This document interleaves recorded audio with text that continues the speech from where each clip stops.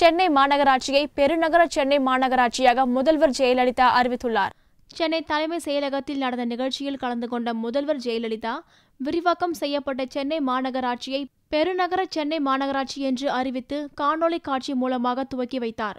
மேலும் முப்பத்தி ஆறு கோடியே இருபத்தி ஆறு லட்சத்து முப்பத்தி மூன்றாயிரம் ரூபாய் மதிப்பில் சென்னை மாநகராட்சியின் சார்பில் கட்டப்பட்டுள்ள அம்மா உணவகங்கள் உயர்மட்ட பாலம் பூங்காக்கள் சமுதாய கூடங்கள் பேருந்து நிலையம் அலுவலக கட்டிடங்கள் உள்ளிட்ட பல்வேறு கட்டிடங்களையும் முதல்வர் ஜெயலலிதா திறந்து வைத்துள்ளார்.